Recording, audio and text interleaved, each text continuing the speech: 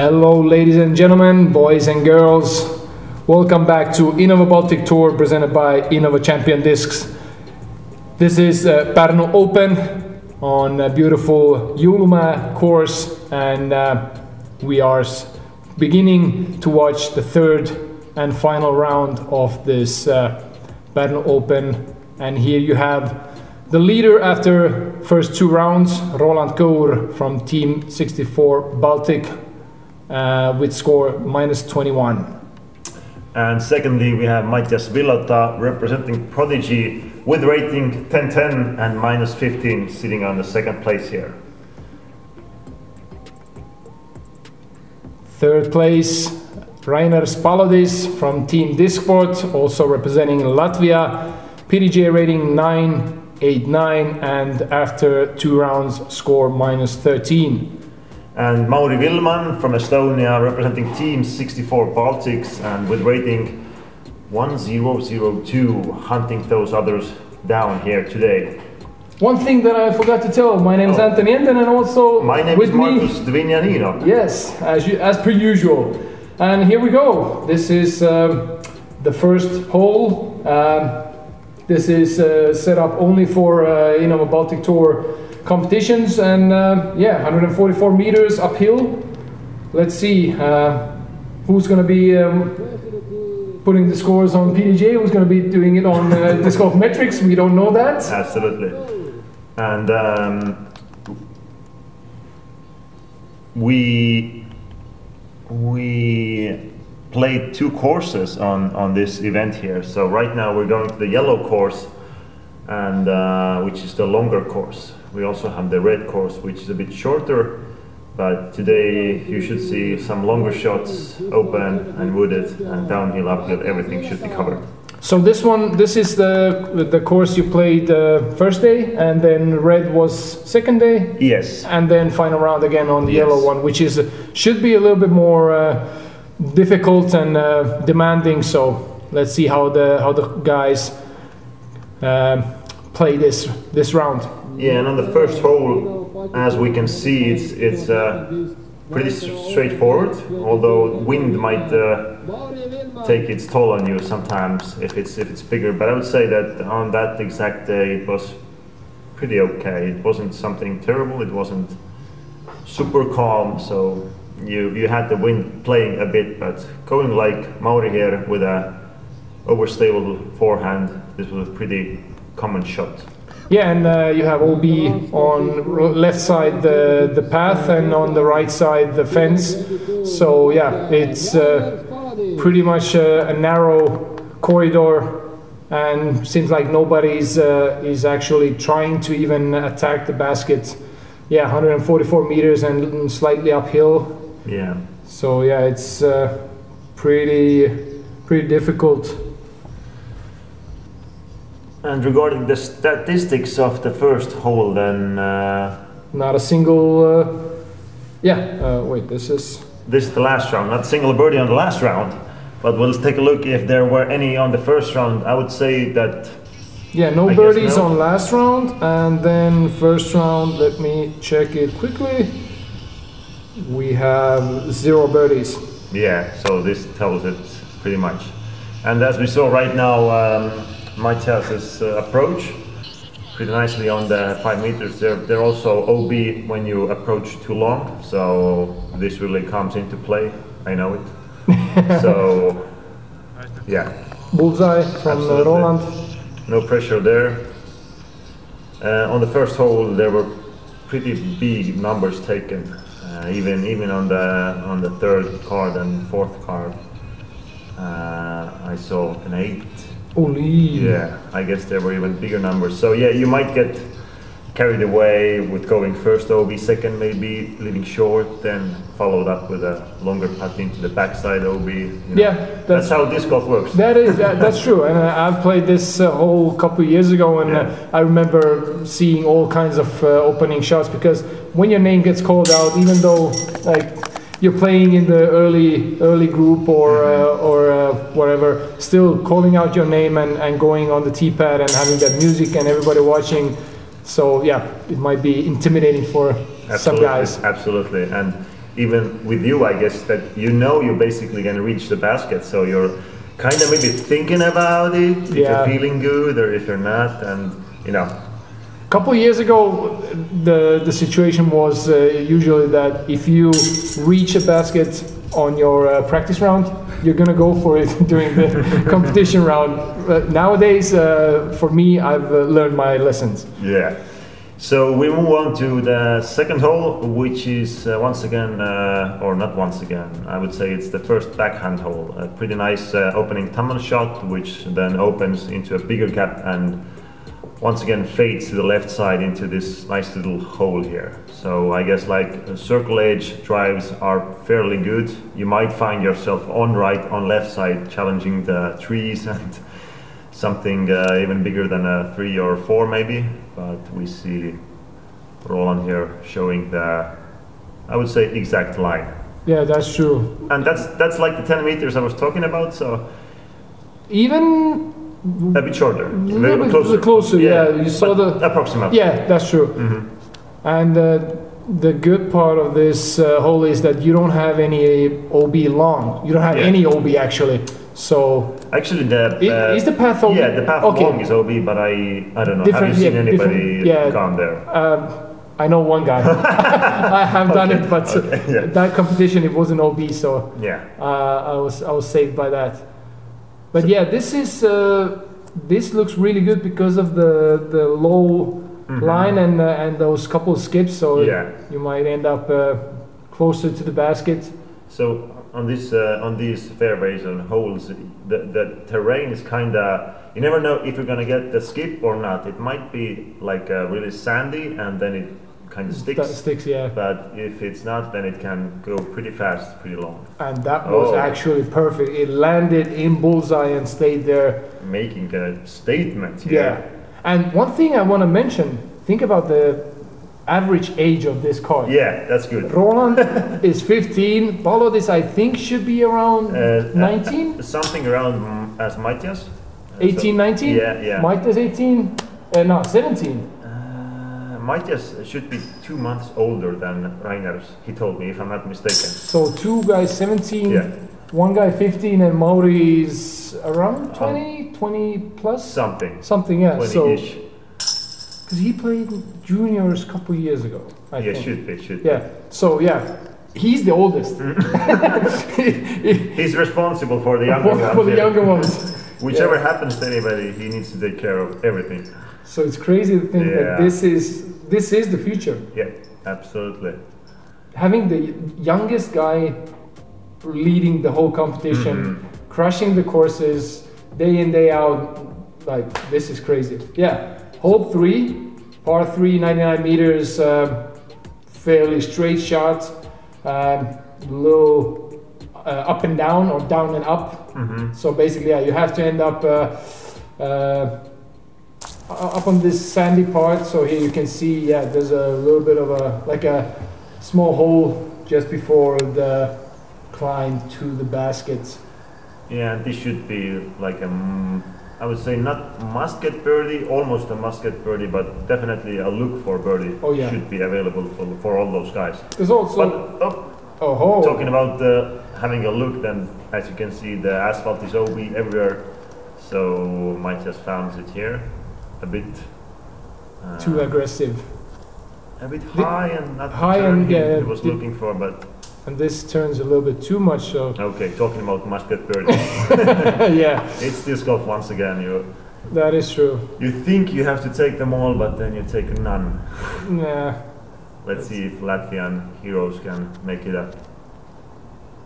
this looks a bit better if it comes back. Yeah, Clipping those branches, and there it is. Five six meters Yeah, true. shouldn't be a problem. and been high, so you don't have to Mhm. go uphill or downhill Yeah. So and And, Roland uh, basically no run up, just doing his Yeah, little he hop, hop steps and yeah, absolutely. ah, Just well, needs one square meter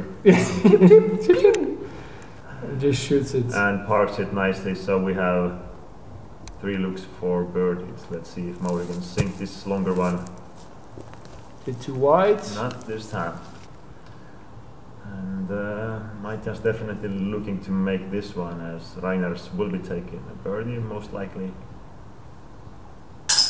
And there it is. nice Par laser. saved. Both Roland and Mathias have like a, and also Mauri, like have super fast, super straight line putting style. So, I mean, Yeah, if they should miss a putt, they won't miss a putt. but if they should, it should go like 100 Yeah. meters past the basket. that is true. I have seen a round from Roland where he absolutely crushed a course minus 18 uh, Yeah. during a competition, Don't and his putting was just unreal.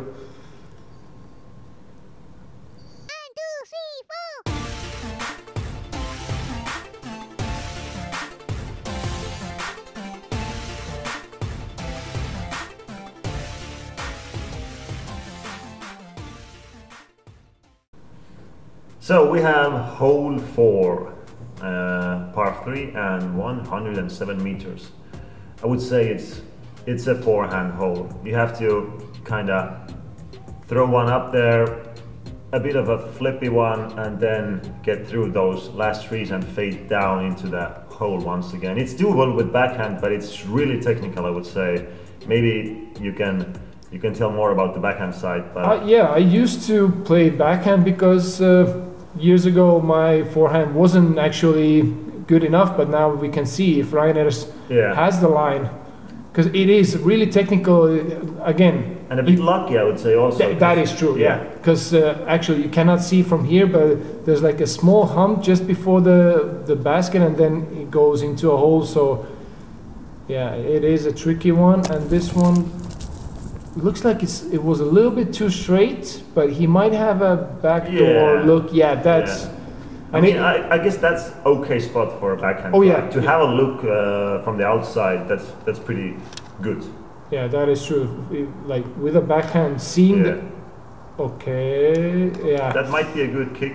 There, there should be some kind of. There is a corridor on Yeah. the right side. If you actually miss too far right, you have a look for the basket because there's like a like a Mhm. dr- path into the hole. And uh, uh, I just leaks it a bit too left, or I think it was a, a bit too understable, and it flipped it Mhm. over a bit too much. But Paris is a go-to, and and birdie is most likely out of the game right now. This looks best of these. Ooh, ace run. Talking about Seemed difficult hole. Close to me, that was close. I mean, yeah. Once you get to the bottom of the hole, you're most likely really close to the basket, as as we saw Mauri. But Uh, yeah, usually you don't see opening drives that go uh, like far. yeah, go behind Yeah. the basket. Usually you, you stay like um, short. uh-huh. And uh, yeah, now we see three guys coming from basically top down, and oh, might just giving him a good run. Well, Why these, not? these Why young guys are just I don't know, They need to get older, fast. and some. Nah, That might be bad for us also.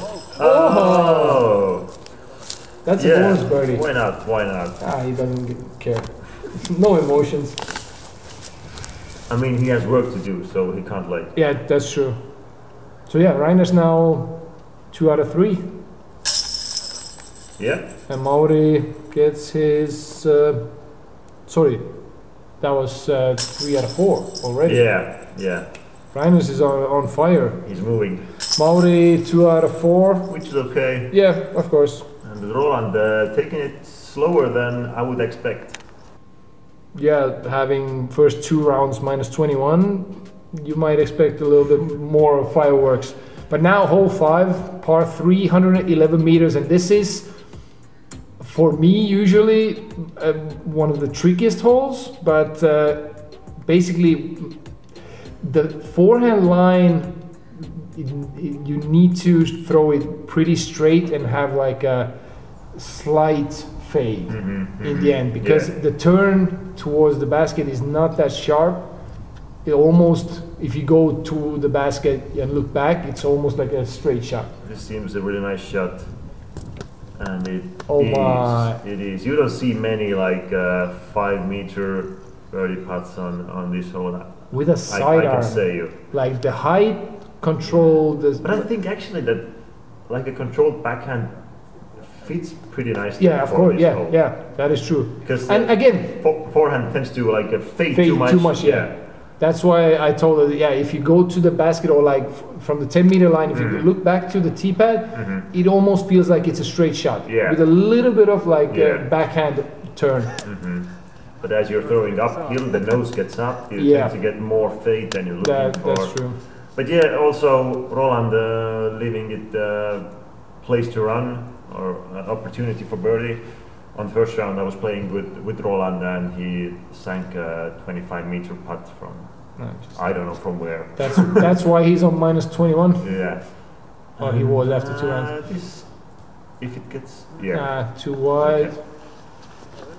that's pretty common place to be, I guess. I, I would say. If you Mhm. get up there, you, you, there's also s- a bit of wind uh, on this hole, usually coming down towards the tee pad, so you need to deal with that one also.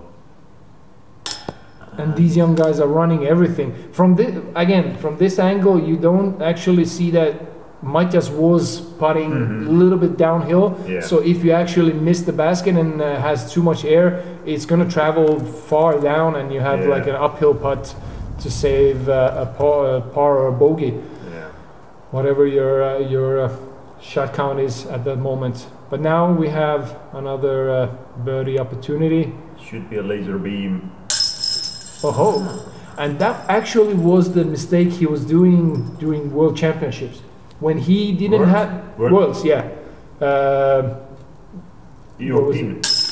no, sorry. Yeah, no, with the Team Worlds. Ah, okay, okay. So okay. the final round, he was playing good, but he was missing to the left. So Mhm. if Mauri misses, usually he misses to the left. okay. Hopefully, let, let's hope that he's not actually starting a trend like Yeah. like that time. But yeah, And uh, is taking the easy birdie here, and the lone one also yeah, that's taking true. it back from the Estonians.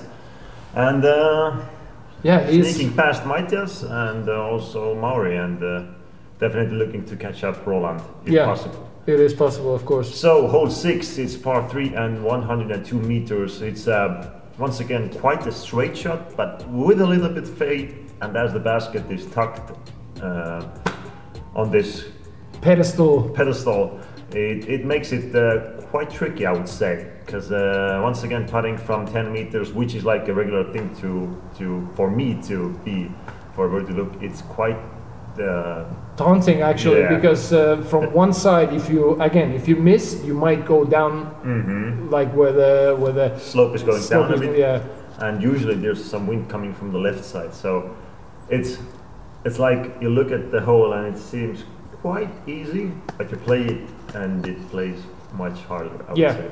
and the common mistake is actually leaving a little bit short which isn't bad because then actually you're putting on like if you miss you you're putting back from the same level if you're putting from the right side Mhm. looking from the tee pad Mhm. then you're actually putting like a death putt yeah But anyway, either any side, the height, it, like it's al- almost a meter higher, even more. Mhm. So yeah, it's not an easy one. You actually want to park it pretty close. Roland also turns it a bit over and that's the place it's really Yeah, like daunting to, to really attack the basket you have to really feel your putt and uh, if there's some wind coming it's like uh, yeah. I just don't know. put it under the basket and l- s- Yeah. settle with the par. Oh, Mike is coming from Nope. out. And as we see, there's there shouldn't be anybody in the, inside the circle, and we're we're looking at the, Yeah. the lead card right now. Yeah, that So is true. That really tells the story, I, I would say. Mm-hmm. Mike is already putting it under the basket, basically, or like next to the pedestal. So. yeah, Settling with a par, Matt Rainers is going for it. And there you have it. Yeah. And now he has even more elevation to deal with. obstructed path seems like maybe the two trees, and also Roland doesn't want anything to do with that. Oh, I mean he has a nice cushion, so it's Mm, a fair, fairly good, uh, say, decision from his side. And Mauri leaving that also. that is actually the best side to run it if you don't have like a Uh-huh. monster headwind because yeah, giving it like a soft run and if you miss it, leave it next to the basket. But Mhm. here you see, Rainers went for the birdie and Yeah. has to settle with the bogey. So But I mean, Rainers had like four birdies out of five. He must have felt good. So he Yeah. thought, I guess, that what do I have to hold on here? I'm going to. I need to catch the Roland. I think he's, Yeah. he's definitely trying to get the maximum out here. I guess so. It's a. It's a. I don't know. You sometimes have to take those decisions, and and sometimes it works. Sometimes it doesn't.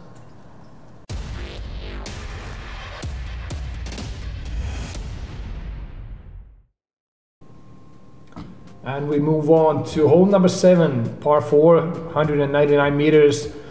So here on the right side, you can see mandatory tree. So we're throwing from top downhill, turning right, and then a little bit more right. and then we're going uphill right. so yeah, it's like a horseshoe uh, hole. You have both sidearm and backhand uh, turnover shots here, and some crazy guys even go like high above the treetops and just hope for the best for the disc Yeah. to land close somewhere close to I don't know 20 30 meters from the basket. I have actually seen those shots so Okay. so yeah, but that's more uh, with a really good wind and a little bit of luck. You can actually make it somewhere where the ba- uh, Yeah. bag is. With a massive backhand. Yeah, true. But the but the actual play is to play down on the Mhm, on the crossing road. you have a look for birdie, you basically need to get down to the road. You don't even need to really like steal too much of the corner. Yeah. You just need to have a okay place for your second shot. Mhm. On this uh, sunny place here, right? I would say it's totally enough to be. That's true. But that's the mental of the players to go as as far as Yeah. possible and to have as short as possible. And we see Mathias going the high line. Uh, And now, is yeah, now we're hoping to see something. anything? Okay. Uh, looks to be Ah. somewhere close to cameraman. So that I think it cl- clicked some trees and, and fell down because it's not that far as uh, like a shot that would have, uh, how you say, um, been as he wanted to be. Yeah. So it's, it's not definitely something he was looking for.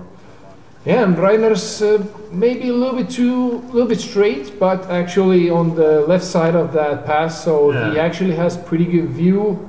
Other than like here, you can see Roland has to go with a, a turnover again because he was on the right side of that path, and now he got some clip some branches. Yeah. You can see the 10 meter like these uh, markings, red ones, red tubes on the ground. So he's, I think, somewhere around 15 meters from the basket. This seems to be really nice. Ooh, tracking to the basket. So Mauri now looking for another birdie. After that, pretty good sidearm. And yeah, Rainers has some trees to deal with. Looking for, with a flex sidearm. And that is a nice one. Yeah, so as we can see, he actually got pretty good distance from the corner. Mhm, mhm. And now, yeah, Mathias But if, if yes, if Rainers would have been like maybe two or three meters more inside the woods, then It would have been it tough. might have been like a zero chance to, to reach the. So it really depends which kind of uh, footing and and uh, and look you have. Yeah, so now we saw that two guys that were more on the left side and like a longer, uh, with a longer opening drive to the left side of the path, Yeah. got a bit better uh, shots and uh, are actually putting for birdie. And Mathias here trying to trying to get the birdie, but close, but Close. not close enough. and Roland definitely looking to get something going here. I mean, he has pars, but he's looking for birdies. Okay, yeah, just Yeah, he's laying it up, yeah. just yeah, because here also a bit of slopey around the basket, so you might find yourself uh, rolling away, and no need to play um, bogey here. Yeah, and uh, Mauri with his third birdie. This Yeah. Mauri's going like stable, just taking some birdies, missing some. It's not like Yeah. it's not super good, but I think he's okay. Yeah, and through seven holes, we only have one bogey. Yeah, yeah, that's So the thing I was looking They for. are playing well. pretty pretty nice round, Mhm. and uh, and uh, and Mike does also has, has the only OB, but uh, was Yeah. able to save the par.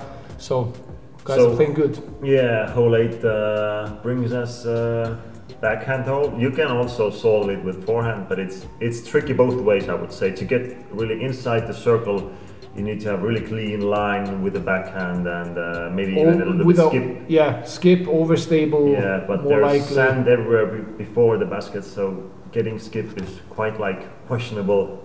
So you never know where the disc ends if, if you if you even make the right shot. Yeah, and the and the opening, like let's say the first, what is it, 70 meters? I think has to be pretty straight, Mhm. and then you can actually turn towards the basket. Because if you go left or like um fade in too Mhm. early, as you can see, Mhm. you still, yeah, Rainers has a look, but It was lucky. it was lucky. Yeah. If you cut the corner, if you try to steal, you might get really, really. Unlucky and Yeah. be, be like in a jail. now this seems like the the real line. Yeah, Oh, pretty much yeah. perfect. Yeah, bullseye, Can't even make it better. almost bullseye. So yeah, So the, the the great shot would be full time hyzer, I would say, power hyzer. power highs. Yeah, with a skippy disc like a fast fairway hybrid or, or driver. uh, might there's a little bit too much Yeah. power in those arms, or in the right. Combined. it combined and the body and everything.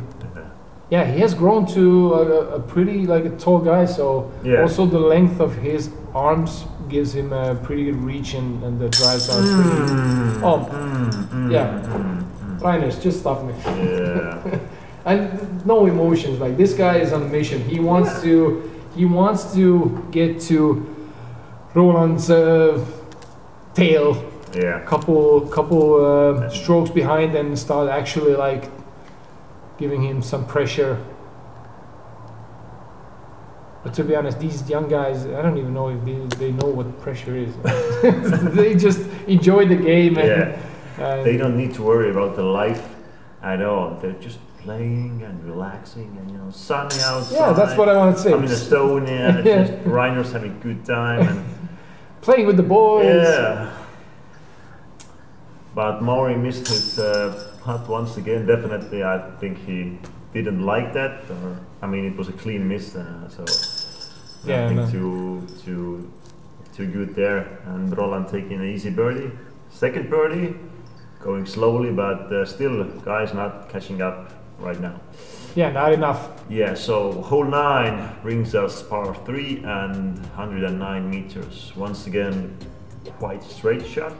Both doable with backhand, with forehand, but I would say More with forehand. yes, because the fade is on the right side and we have also quite big slope uphill, so it, backhand tends to fade to the right side. easier. Yeah, and downhill and Yeah. uh, and it, actually you have a little bit more room on the left side for that uh, forehand uh, Yeah. uh, flex shot. So And if you, I mean, if you if you're even short like 30 meters on the right, on the left, you usually have a look for the birdie. So it's it's not the hole where you're looking to, I mean, get anything more than a par. I would say if you don't make like a pretty big silly mistake, yeah. uh, putting mistake downhill going long maybe or something, getting the roll away. So overall, I would say it's a par or birdie uh, for for most of the field. This looks good. Oh, oh this my looks good. And now, really nice drive, but he has nine meter downhill, downhill putt. putt. So, yeah, as he's not maybe feeling most comfortable with the putting, with his style also, yeah, the laser it beam. might get into your head. And And- if this misses, this seems to be really good. Yeah, Oh my! that's what you want. That's what you want. So we actually have. Okay, so this is a little bit longer one. I was almost almost starting to think about uh, for star frame, but yeah, that's where that hope has ended. Mhm. Okay, Now it's time to make it or break it. and he makes it Yeah. under the band. nice and easy, and you can see that really uh, big exhale. And Oh. Roland can't like get it going. So don't want to jinx anything, but looks like he's maybe a little bit feeling the the breath of Rainers' Hmm. in his neck. Maybe, maybe. Coming- But I mean, still, there's five strokes uh, Oh, yeah. between them and nine holes to go. But you know, disc golf, anything can happen here. Anything can happen. Yeah, that was the front nine uh, of uh, Open.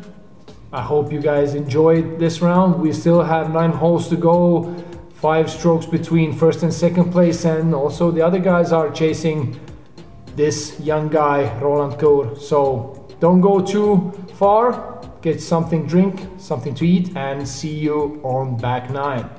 See ya.